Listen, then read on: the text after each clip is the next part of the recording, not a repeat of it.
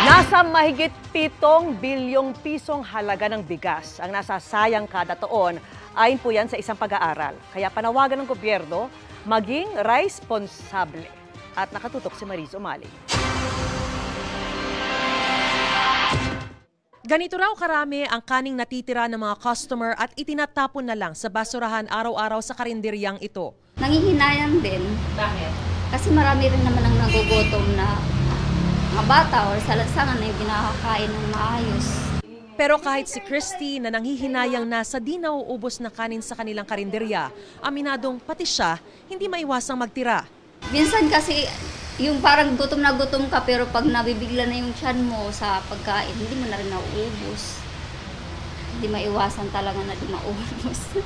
Ayon sa Philippine Rice Research Institute, dalawang kutsara ng kanin ang nasasayang ng kada tao araw-araw. Katumbas daw ito ng 7.2 billion pesos na kaya na sanang magpakain sa aabot sa 2.5 na milyong Pilipino kada taon.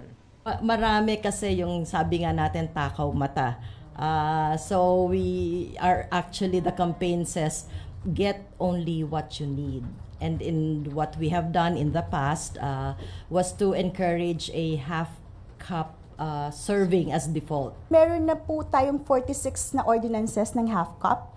Um, Meron din po tayong proposed Senate bill before by President BBM, nung senator pa siya, na half cup of rice. Hindi lang siya na naipasa as batas kasi natabunan siya. Pero ayun, um, we'll try to revive that and to have another Senate bill.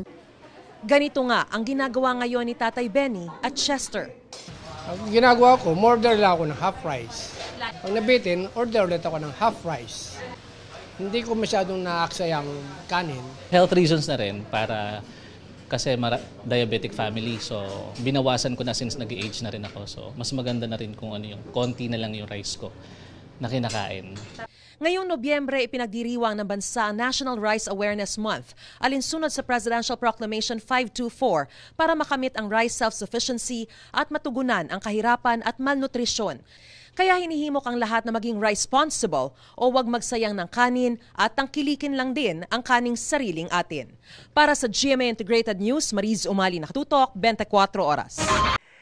Kapuso, kasama nyo kami 24 oras. Mag-subscribe sa GMA Integrated News sa YouTube. Sa mga kapuso abroad, bisitahin ang GMA Pinoy TV at www.gmanews.tv.